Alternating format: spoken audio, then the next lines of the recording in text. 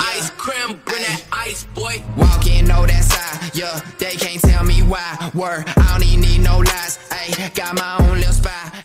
各位投资朋友们好，我是路易斯，欢迎收看今天的盘后影音。大盘指数今天上涨了七十五点，涨幅来到零点四五个 percent，成交量三千四百亿，收在一一六八一五的位置。各位，今天早盘开盘之后呢，马上上冲下洗，卖压全部涌现，打到盘面之下。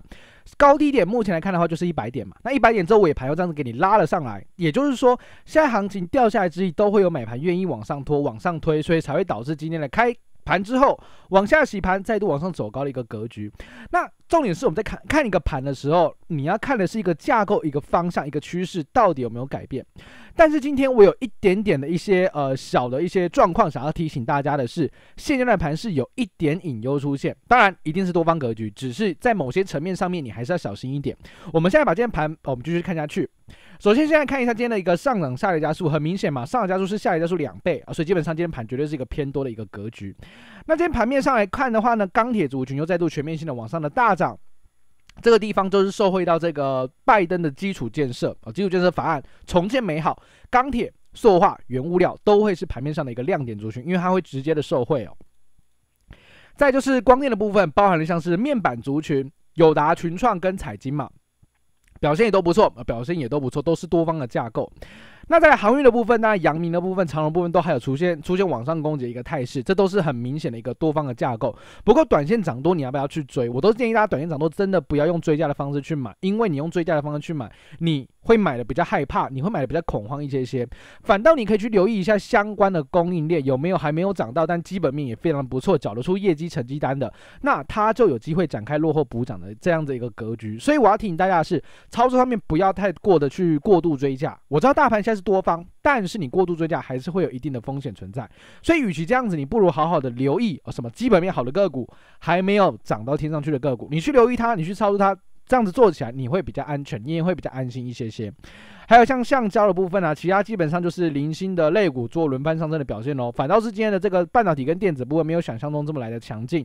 当然，这个地方就是什么全指股的部分嘛，所以指数方面今天也没有大涨到哪里去，就是因为我们的台积电毕竟没有大涨。那台积电其实也是台股的一个隐忧哦，大家知道吗？好，我们等下一个个慢慢。跟大家介绍，我们今天影片可能内容也会比较长一点，但我希望大家可以把影片看完，因为我要带大家认识的是怎么去思考一个盘面，怎么去思考一个架构，你这样子才能真正学到东西，我认为比较重要哦。好，那当然短线涨多了，像这个玻璃陶瓷的类股啊、造纸类股一样是船产的部分，不过短线涨多震荡一下难免了。那格局架构没有改变，基本上就是往上看。那这个大盘指数部分，我说过嘛，已经突破这前面的一六五七九，就不能再回来了。今天再度开一个小高往上冲，创下了收盘价新高。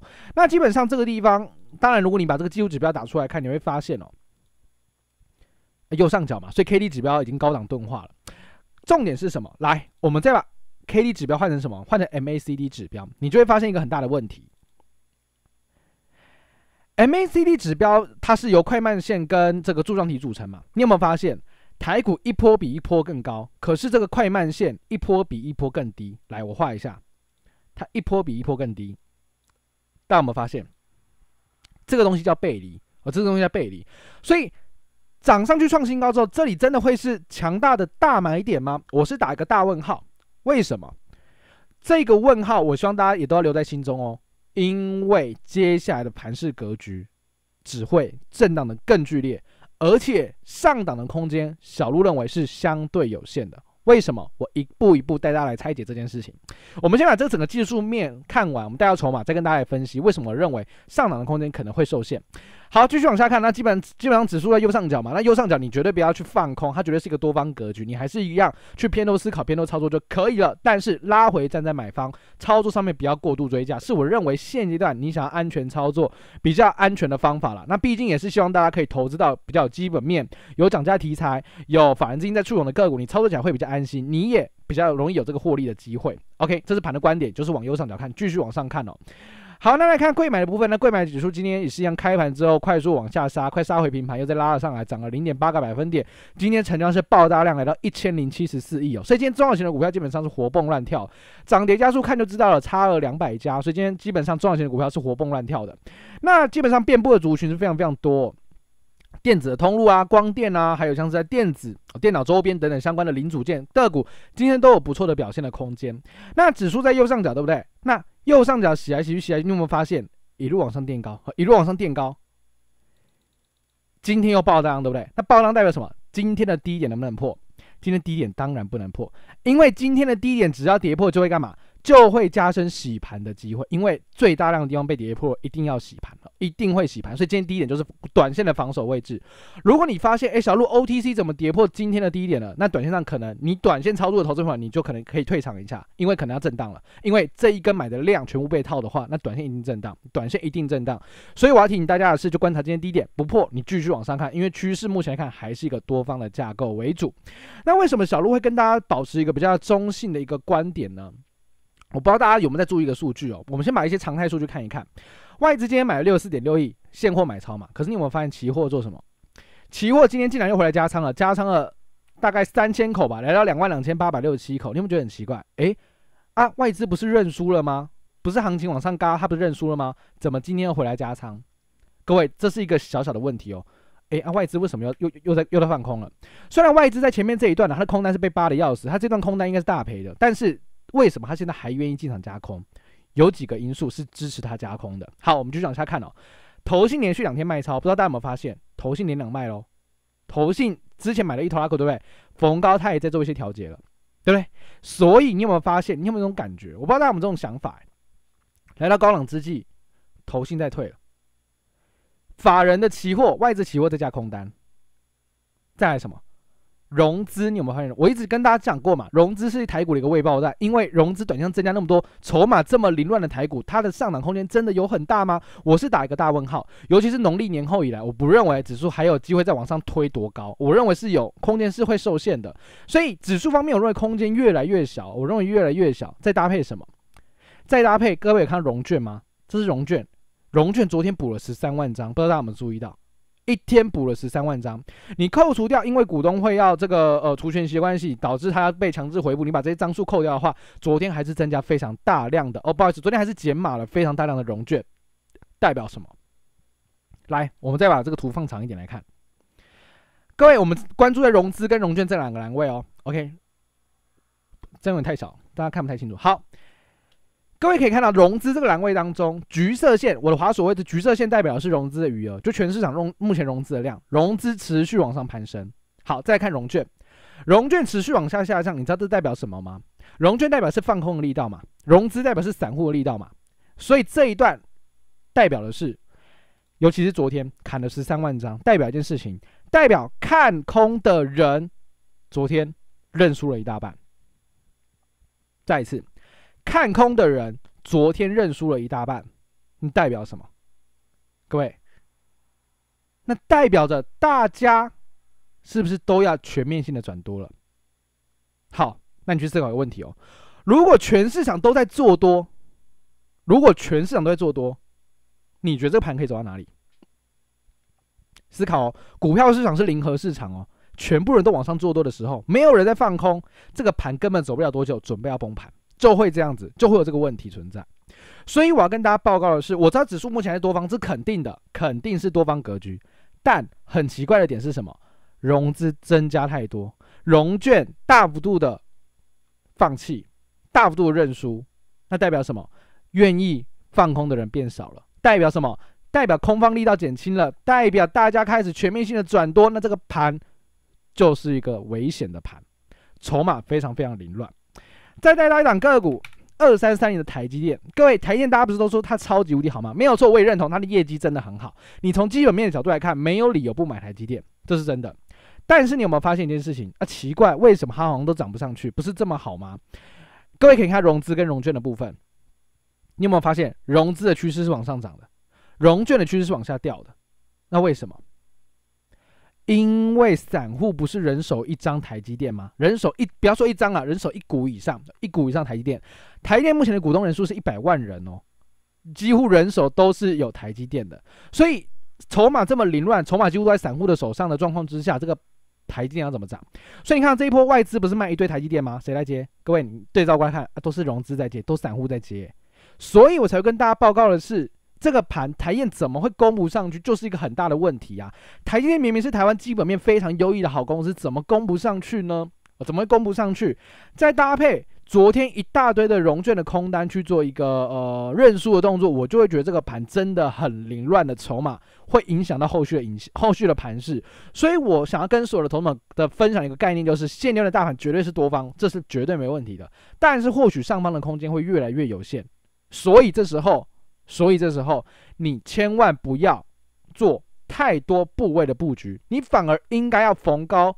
去做获利调节，并且什么去做灵活性的操作，灵活性的操作，并且资金的比重不要放太多，不要在这个地方放了八成资金、九成资金，或许还有一点喷出弹的机会，让大家去一个呃赚钱的机会。但是我倒是认为那个地方风险就会相对来说比较大一些些，所以我才会近期来讲，我没有很积极的去呃大买很多新股票，买一大堆，没有，因为我知道现在盘，我认为还是有一定的风险存在，就如同我刚才讲到的，不论是在这个融资持续增加。外资持续加空，融券大幅度回补等等相关的资讯，都是不利于未来的台北股市的发展。所以我才跟大家分享的是，我觉得这地方盘有一点点怪怪的，有一点怪怪的。但因为筹码部分有点溃散嘛，有一点松动了，有点松动，所以这是我要提醒大家一个重点。当然不代表它马上就崩盘了，各位不会啦，不会马上就崩盘了。但如果你真的要说什么样的契机可以引发台股拉回的话，我认为有一件事情。那就是美国要加企业税，从百分之二十一加到百分之二十八，这会影响到谁？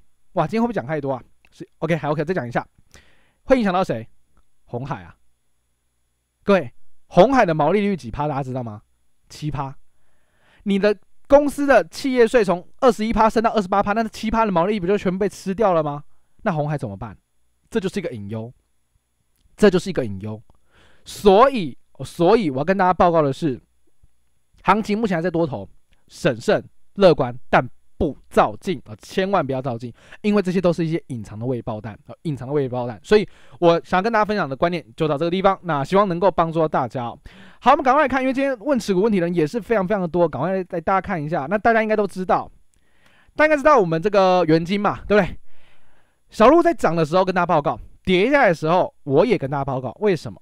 啊，它就多方格局啊，各位，它就多方格局啊，所以最近掉下来，我是不是还跟大家讲，它没有挂点啊？因为特定主力根本没走啊，所以今天不就喷上来了吗？涨了七点五个百分点，再创收盘价新高，今天收在四十八块，外资买了一千五百五十五张，投信买了三百张，这筹码又全部回来了啊，又回来了，所以基本上这就继续往上看嘛。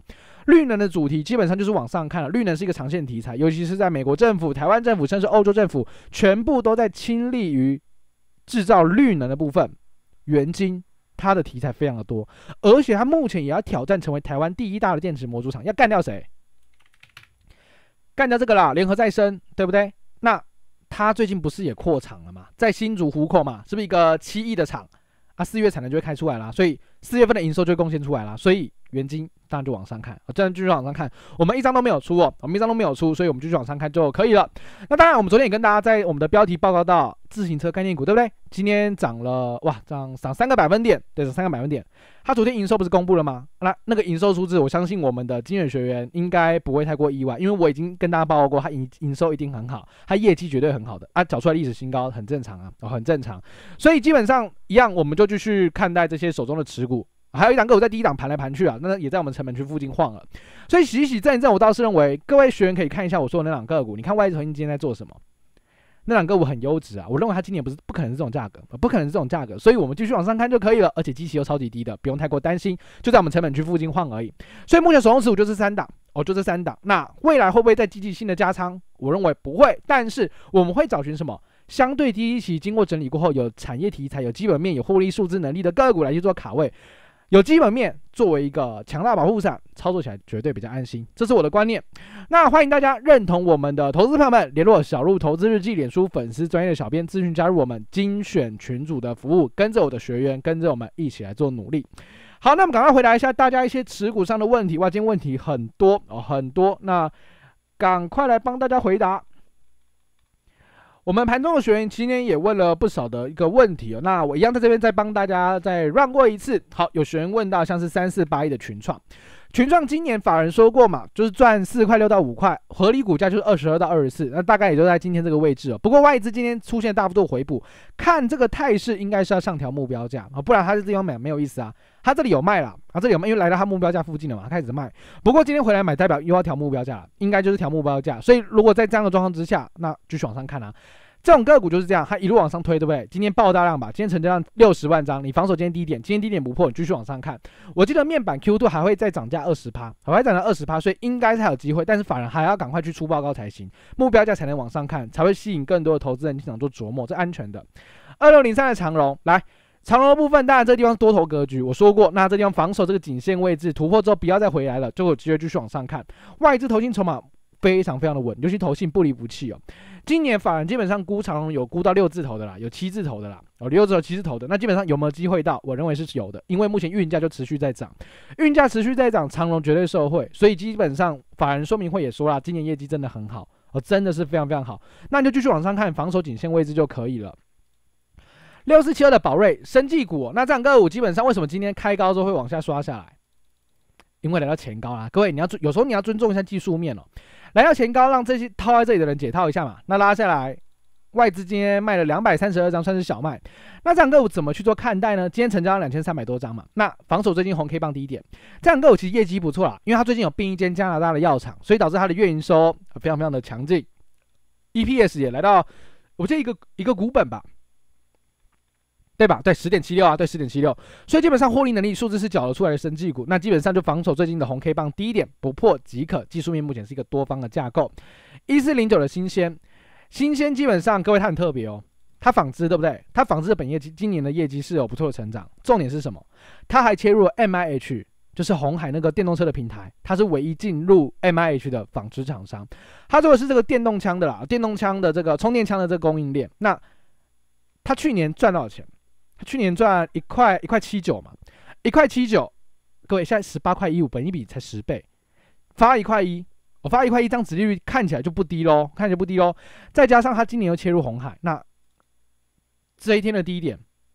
四月六号这根红 K 低点只要不破，你继续往上看，它今年业绩也很好，今年业绩又有股息的一个配发，所以基本上值利率也非常非常的高，非常安全的标的物，非常安全的标的物。那重点是主力哦，有个特定的主力分点券商买在前波之前波低点的啦，它最近在加码，应该可以往上看哦，应该可以往上看，好不好？好，三零二五新通哦，新通就是五 G 网通啦，网通就防守这边吧，最近的红 K 低点，三月十九号的红 K 低点。这也是颈线位置，前面这里的 M 头的颈线位置，这里只要拉回不破，这里就有机会走一个区间震荡盘，哦，有机会走区间震荡盘。那基本上它三率不错啦，去年赚一块一吧，对，一块一，那也创下近十四年以来的新高。其实业绩是真的有在成长。那展望在今年，因为五 G 还是我们今年非常重要的核心的发展的项目，所以我倒是认为这两个股基本上是有机会至少走一个区间震荡盘的格局的。所以你未来呢就区间震荡操作就可以了。外资金也是买超了四百三十七张啊，所以区间震荡看待，我认为是比较安全的。六二一三的。联茂哦，这两个股，当然这是呃，这个可能就是我们学员的权益。我在呃，因为学员问了一个问题啊，我觉得他问的问题蛮有意思的。他问说：“哎，小鹿，为什么六二一三的呃联茂啊，最近投信一直在卖，可是股价不为所动，是因为有什么缘故吗？”在这边可以透露给大家，你去思考一个问题：为什么股价能够不跌？股价不跌的理由只有一个啊，就是有人愿意买啊，买的力道大于卖的力道，它就不会跌，只是你可能看不出是谁在卖而已。因为你要看主力分点券商，你要一个一个去查。那基本上这两个股，CCL 的面板呃，CCL 的这个呃铜箔基板的部分，基本上就是区间震荡盘。台药也是，联茂也是，所以基本上这样的个股就是有人要买嘛，有有人要撑，所以它就是撑在这啊，它就会撑在这。OK，那这个问题其实我在盘中已经回答我们建学员，我就直接跳过了。四九三八的合硕，合硕掉那个 iPhone 十二 mini 的单子啊。对，然后有可能被打出这个 PS 五的供应链，所以股价最近才被外资卖成这样子。不过你要思考一个问题，是外资已经卖成这样子，为什么股价不破底？这你要去思考，为什么不破底？已经卖成那还不破底，代表什么？有人愿意进场接了，呃，确实有。今年发四块五的股利，法人估今年赚六块，六块来讲，本一比十二倍，其实也不会说太高。所以这个地方我到时候有机会做一个主底的动作，有机会做主底的动作。所以未来。来到一百二十日 WMA 嘛，网上如果有急压来到了小鹿帮你标注了蓝色区间，您可能可以稍微退场一下，因为上面其实压力非常的大，压力非常的大。但下方来讲又有前低的支撑，所以我倒是认为这就是上面有压力，上面有支撑，来回做区间操作即可。一五三三的车王店有没有机会涨上去？这两天看到有大户在吃货，有的，呃，有的，因为昨天来讲的话，有个大户在买嘛。那有大户在买，这个目前平台下缘也打出来了，今天站回所有的 WMA 之上哦。外资今天买了五百四十二张，这随时有就会往上攻哦。我随时有就往上攻，它业绩有在成长，是真的在成长，所以应该洗一洗，我认为是有机会去挑战前高的。这里应该是有机会来做挑战。那基本上，如果你是在这里做布局的话，来到前高附近你出一半，剩下往上看。我我的观点给你做参考。想请教台本吗？一三一零的台本塑化的部分都在涨价，不论是 EBA、ABS、PS，基本上塑化的产品都在涨价。那这样个股外资的筹码也非常的稳，你看外资买成这样不离不弃哦。外资主力大户呃，基本上往上看吧。防守这个大量成交区间不破，未来有机会过高，过高建议先出一半，剩下继续往上续报即可。塑化的部分就是景气循环股，那也是目前报价持续上扬的产业，所以就继续往上看，应该是没什么太大的问题哦。问一下经济。经济今天赚八块，石英元件的绩优股赚八块钱。那外资投信今天做了一下调节，不过我稍微帮你看了一下，这一段买最多的关键主力哦，没有跑啊，没有跑。所以你未来防守大量成交区间，我倒是认为这个地方可能只是短线的外资投信在做一些调节而已。不过趋势没改变啊，目前还不是多方趋势吗？再搭配什么？再搭配今年赚八块钱，现在的本益比。十二倍而已，十二倍我认为很便宜，很便宜。这个地方洗洗震一震，趋势往上带，应该有机会来到前高。来到前高附近，建议先出一半，剩下继续往上看即可。这样个股也是超级无敌安全的石英元件绩优生，续报即可。好，那哎，赶快来回答我们一般学员的问题喽。哇，今天时间也是拖好长，哇，今天问题好多。哦。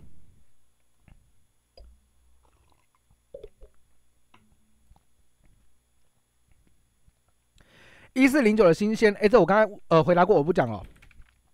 二四华邦，华邦区间震荡盘啊，对不对？今天外资买一万三千多张，结果股价没涨嘛？那区间震，为什么它这个地方攻不上去？因为这里有前波的前波的压力啊。来到这里，这里套的人会想出，这里套的人会想出，所以股价自然就被压回。但是如果再度压回均线位置处，我倒是认为这个地方你反而留意一下是买点哦，是买点哦。因为 No Fresh 的部分就是华邦那个万红嘛，No Fresh 今年的第二季继续涨价。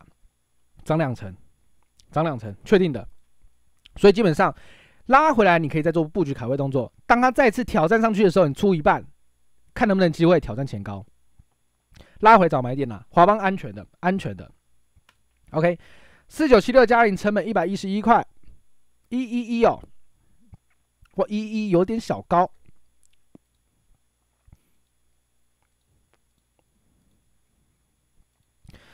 这样个股基本上上面套牢卖压是蛮沉重的，因为上面非常非常多的压力哦。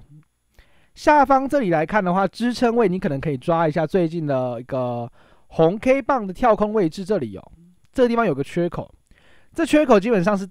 攻发起攻击的那个主力，它的一个平均成本区哦，你就防守这个地方。那这地方如果没有跌破状之下，我认为就是窄幅的区间操作。上面急拉你就卖一下，掉下来要区间下缘你买一下，来回做区间操作即可。一百一十一哦，有机会啦，一一一有机会解套，一一是有机会解套。嘉陵就是切入这个车用的这个特斯拉供应链啊，它镜头的啦，镜头的，这安全的啦。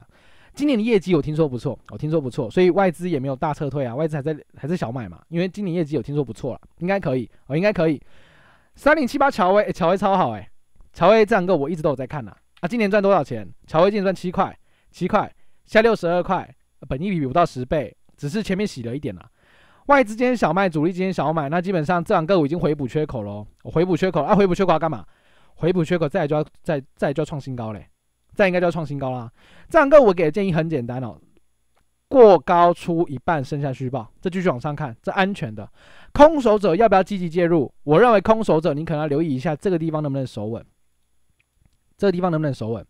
这个平台区间只要能够成功守稳，因为这里一堆均线嘛，这里只要成功守稳，量缩拉回来到这附近可以买，我可以买。往上推应该是有觉得过高，这样够今年赚七块钱，赚七块钱这个股价不合理啦，应该是有机会往上攻的，好不好？四九八真顶一百一十九块，一百一十九块也在附近而已啊，只是外资最近大卖嘛。哎，这个这两个股很喜耶，超级无敌喜，不知道大家有没有这种想法？这个这真超喜啦！这两个股就是区间震荡盘啦，来到区间下缘你不用悲观了，买一下；区间上缘你卖一下，来回做区间操作即可。宝成哦，哎，宝成最近不不就是那个吗？对啊，底部打出来啦，这很很温吞呐，不够安全的啦，安全的啊。这颈线在这啊，这颈线很强哎。打完这蛮漂亮的啊，其实蛮漂亮的。OK，你未来防守这颈线位置，筹码其实还蛮稳健的。洗一洗这一阵，你防守这区间没有破，继续继续往上看，这技术面是多方。三六九四的海华哦，哇，海华我就不就这样个股哦，有点一点点一点点走空的味道了，目前就在盘吧，哦，顶多在盘吧。盘整的话，我的建议这样够，就是上有压，下有撑，来回区间操作即可。今天来讲的话，来到区间下缘有出现抵抗力道，外资有做回买。来到区间上缘，我建议你卖一下，站够我就区间震荡，它有一定的获利能力啊，但就是区间做啊，区间做。二四五七飞鸿今天涨停板嘛，对，这个就是什么？这就是很明显的转机股啊，转机股，因为它如果你看它的 EPS，你会吓死了，它去年第四季只只赚零点零六块。啊，零点零六块三十八块九的股价不合理啊！啊，当然了，因为它是什么转机的啦，它切入这个电呃电动车的充电桩了。那这样够怎么看？今天成交一万八千多张哦。这种短线的操作就是防守今天当天的低点啊，当天红 K 的爆量红 K 低点，低点不破继续往上看，低点砸破，短线应该就会整理一下，短线应该就整理一下，会建议先做一个短线出脱的动作。那未来就防守这地方继续往上看啊，继续往上看，它很强了，非常非常强，不过就是转机了一点，我转机了一点，目前的实际获利数字会吓死，我真的会吓死。好，那一七一零东联成本二十还能够续放吗？二十哦，二十二十二十二十可以啦，可以啦，塑化嘛。只是它算塑化里面真的不强的哦，必须老实说，塑化里面它真的算不强的，因为其他塑化都长这样啊，这台剧啊，还有什么一三零八雅剧啊，台达化有没有？还有像是价值连城吧，连城对啊，连城也是多方啊。东联真的是比较弱，说实在话，你应该也看得出来吧，对吧？那怎么看待？目前这里来到一堆均线纠结位置，也是前波支撑平台啊。你守稳这个地方，这个平台只要没有收盘价跌破，应该有机会走一个区间震荡盘。来到区间上缘建议卖一下，来到区间下缘建议买一下，来回做区间操作，哦，来回做区间操作。一三一三的连成，连成，对，才刚讲完连成，连成多头，哎，非常好，继续往上攻嘛，因为说话的报价在涨啊。这个地方防守好，你继续往上看。虽然外资今天做了一个大卖的动作，不过有卖盘愿意把它洗上来，所以我倒是建议这个地方哦，防守这个平台区间没有跌回来，没有跌破的话，继续往上沿着均线往上看就可以了。连成是 OK safe 的股票，六四一四的华汉，华汉工业电脑族群，它很可惜哦，其实它今年业绩不错，哎，今年业绩会有双位数的成长，不过股价就在这地方盘了，因为市场上资金目短期上不在这，它上面有压力，下面有支撑，就来回区间操作。哦，来回圈操作就可以了。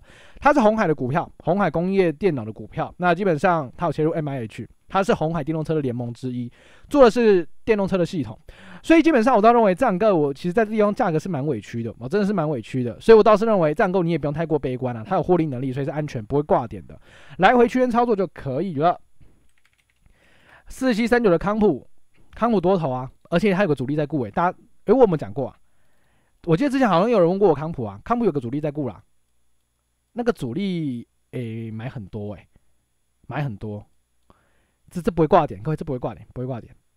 这个形态打很漂亮啊，那目前均线、颈线不是守得稳稳的吗？有就往上看，啊，继续往上看，这个安全的，这安全的，大咖也没走，这大咖没走，OK，可以继续往上看。二三零八的台达电哦，诶，很多人在看台达电诶，在看什么？它的电动车题材嘛。因为今年其实呃以台达电来讲，获利能力也是非常的不错哦，非常非常的不错。那外资最近来讲小幅度调节了，不过前面有买，投信有买，主力有买，大户有买，那基本上防守这个平台区间，目前所有均线已经被洗到上弯了，所以行情继续往上攻击机会是存在的。那我建议这样个股应该是有强大的基本面做支撑的后盾的状况之下，有机会往上推，应该有机会来挑战。前波高点附近的位置，这样个股是有机会的，所以我建议这地方其实是买点，它不是卖点。哦，其实是买点，它不是卖点。后续往上看就可以了，这安全的。六七五六的微风电子，哎，微风三月营收公布了没有？我没有看哦。哎，小鹿稍微看一下哦，不好意思，我帮大家看一下它三月营收公布了，因为我记得没有错的话，微风二月份的营收是三位数成长，我记得它三月应该也会是三位数，因为它今年业绩很好。我看一下。有七十二趴哦，没有三位数哦，不过也不错啦，七十二趴年增率。那基本上投信一直在买啊，今年业绩很好了，今年业绩会很好。那突破平台支撑之后，先拉回来嘛？哎，各位拉回来，如果来到这个地方，可以思考一下哦。来到这个箱型的下缘，呃，箱型的上缘，就是这个颈线的压力的位置哦。量缩来到这地方，你可以留意一下，这地方可以试单一下。这样够今年我记得了，我记得没错的话。价格很高啦，法人看的价格不是这里啊，不是这里，应该直接往上看，好不好？安全的，你防守这个呃箱型的颈线位置就可以了。建准我记得没涨而已啊，没涨而已啊，对啊，散热风扇来讲，它算是不错的股票哦，业绩也不差哦，不过就在平台混，外资最近也没有在买它，都在那卖方，主力大户基本上就是盘整哎，那没有什么趋势方向，不过以它的业绩来讲啊。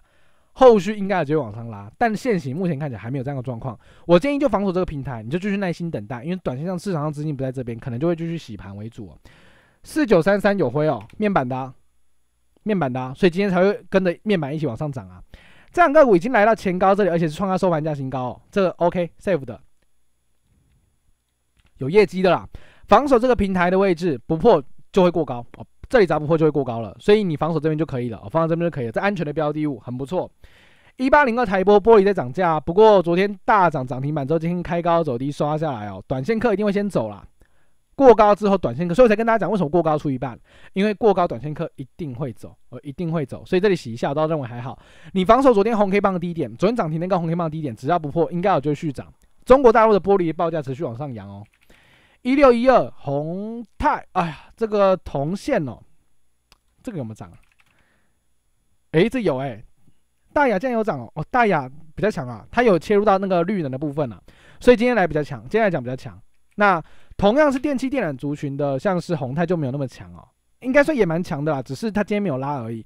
那整体来说趋势还是向上看，那我的建议就是未来防守大量成交区间不破即可继续往上看，所有的均线都往上弯了，这安全的。安全的股票没有问题，三零三八全台多头了，这多头，只是这样个股的股性好像比较温吞一点哦，可能要点耐心。你防守这个平台，那外资投信其实都在做一些零星的卡位，主力也有，大户也有，基本上防守好这个区间，技术面是多方，它目前也缴得出一定的获利成绩单，你就继续往上续报即可。二是一些原钢远距教学的概念股，对不对？去年业绩一定很好，这一大家都知道嘛，去年业绩就标这一段啦，去年业绩很好。那目前看我的观点没有改变了，依然是在这个地方盘底，正在挑战往上攻坚的一个过程。未来防守这个平台的底啊，这平台底部只要没有跌破的话，目前均线已经慢慢开始要洗为上弯了，应该是有机会的哦，应该是有机会的，因为他们业绩很不错。那在目前来看的话，远距教学可能会改变人类生活，甚至已经改变人类生活的状况之下。这个地方有一点点压力啊，但是在这样的我刚刚讲那个前提之下，应该有机会上攻，所以我倒是认为上面有压力，下面有支撑，至少可以做一个区间操作。但是请你区间偏多操作，也就是来到区间上缘你不要放空，区间下缘你接一下，来回区间操作即可。三六零五的红字红字多头，请你防守这个大量成交区间，继续往上看，它很安全啊，外资不是也连三买了吗？业绩也缴得出来，哦，非常安全的标的物。好，那我们今天影片内容就跟各位同总服务到这个地方哦，那还是邀请大家。如果你认同我的观点，想要跟上我们一起布局下一波精选股的投资朋友们，需要有人来帮助你的投资朋友们，联络小鹿投资日记脸书粉丝专业的小编咨询，加入我们精选群组的服务。那我们今天影片内容就到这地方，祝福各位投资朋友们明天操作顺利，我们明天见，拜拜。